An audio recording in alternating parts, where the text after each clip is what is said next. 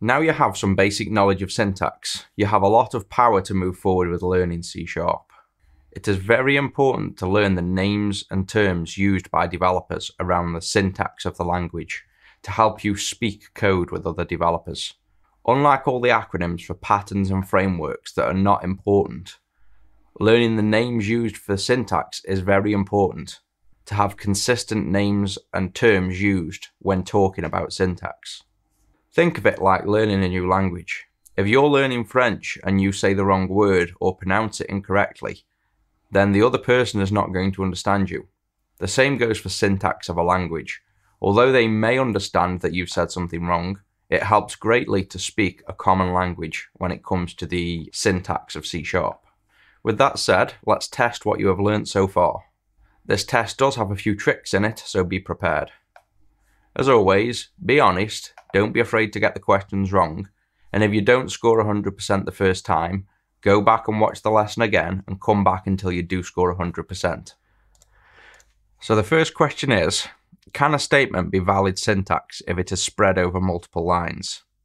Is it always, only if the break occurs at specific points, or never? Now we did cover this in the video, think about it, let me know your answer, and we'll see how you get on.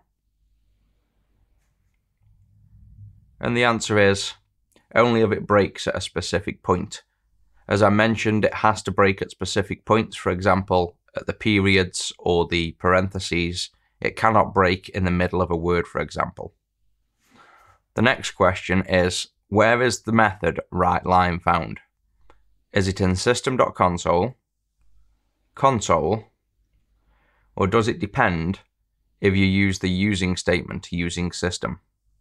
Think about this one carefully and read the question and let me know your answer. The answer is system.console. The method is always found in system.console, that's where it exists. It simply allows your code a shorthand way to quickly reference console without always having to specify system.console. However, the method is still always found and exists in system.console. So that one's a bit tricky, but remember that because that's important if somebody did ask you where a method is found. You wouldn't just tell them it's in console because your code says console. You have to understand that by adding the using system directive, all you are doing is allowing your code a shorthand way of accessing that location. The next question is, what are these symbols called? Are the curly brackets, curly braces, or squiggly brackets. Again, think about this, think of what I've said, and let me know your answer. Now, the answer here is technically every one of these. This is something you will find in development. Not everything is black and white. I always call them curly braces. I'd say 90% of people I've met call them curly braces. But for example, the Wikipedia reference to brackets classes these officially as curly brackets. And then there are some developers that call them squiggly brackets, although that's lesser. So in theory, the answer is all of them because it's a preference in this case. But what I would tell you to use is curly braces because that's well understood and everybody will understand. If you use curly, they will understand. Squiggly, some won't understand. So curly brackets or curly braces is my recommendation here. The next question What are code blocks? Are they a block of zero or more statements, a block of one or more statements, or a class or a method inside a code block? Let me know your answers and let's see how many get this right. So the answer is a block of zero or more statements it simply means you can have an open and closed code block using curly braces and have nothing inside that is still a valid code block. You don't have to have statements inside. A class or a method can exist inside of code blocks, but they are not the only statements that can exist. Next up, when a line of code is run by a computer, what is it called? Is it to exclude, to execute, or an expression. This one I'm hoping all of you get 100%, so let me know your answer and let's see how you do.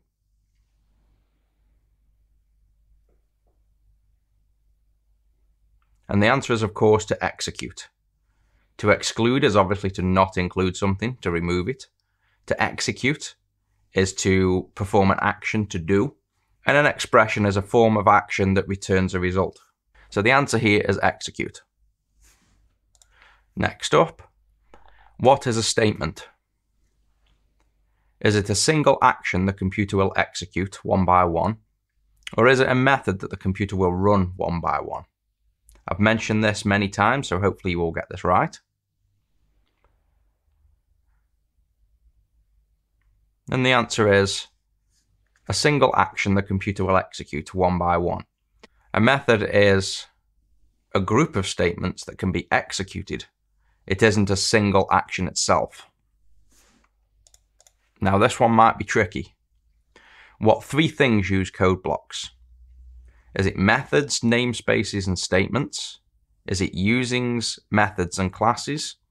Or is it methods, namespaces, and classes? Now, this is things that have code blocks after them. And the correct answer is methods, namespaces, and classes. Now, that one might have been difficult for those not paying complete attention in the lesson. The first answer is invalid because a statement uses a semicolon and doesn't have a code block. And the second is invalid because a using directive ends in a semicolon.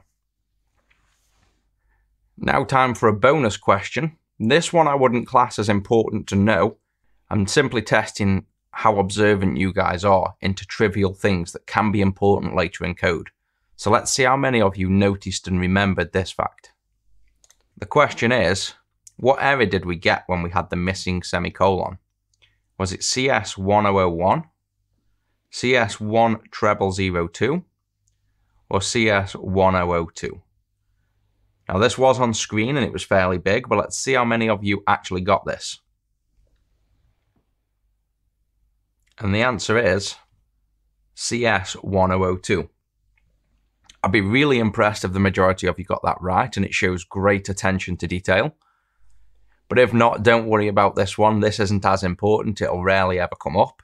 But it's good to pay attention to things that may not seem important at the time because in code, little details are often very important. So again, hopefully you guys scored well on this test. And if not, don't be afraid to go back and do the lesson and test again. And if you have any further questions on the test, feel free to leave a comment.